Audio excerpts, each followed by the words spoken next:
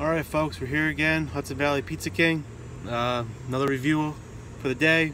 Goes out to Alfonso's Pizza on Route 211. Um, little story, used to come here all the time with uh, when I used to work for Neil's for extra supplies or whenever we ran out of stuff, we always came here. He was a go-to guy, so figured why not give these guys a shot. Haven't had them in a long time.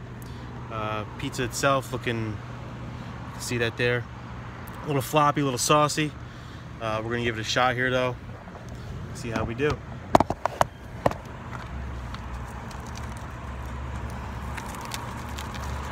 Heavy slice, very heavy slice. Oof. Look at that thing. It's huge.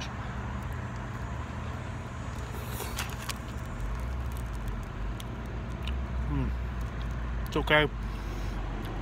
Sauce is um, very saucy decent flavor for the sauce. Cheese is heavy.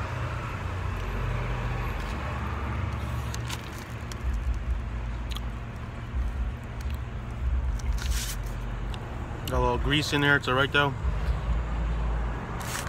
Very sloppy slice. Crust is good.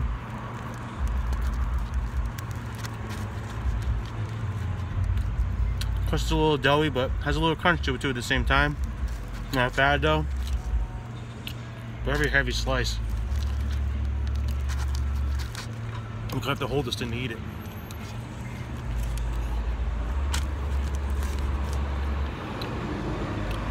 Mm.